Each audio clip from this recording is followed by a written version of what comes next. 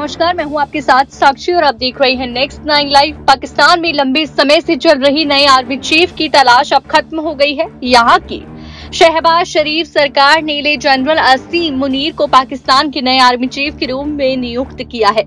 Munir general Qamar Javed Bajwa की जगह लेंगे। इसके अलावा लेफ्टिनेंट जनरल साहिर शमशाद मिर्ज़ा को ज्वाइंट चीफ ऑफ़ स्टाफ नियुक्त और प्रसारण मंत्री मरियम औरंगज़ेब ने इसकी जानकारी दी है। यह नए सेना प्रमुख की नियुक्ति की प्रक्रिया के सोमवार को समय शुरू हुई, जब पाकिस्तान के प्रधानमंत्री शहबाज शरीफ ने संभावित उम्मीदवारों के लिए देश के रक्षा मंत्रालय को एक पत्र लिखा था।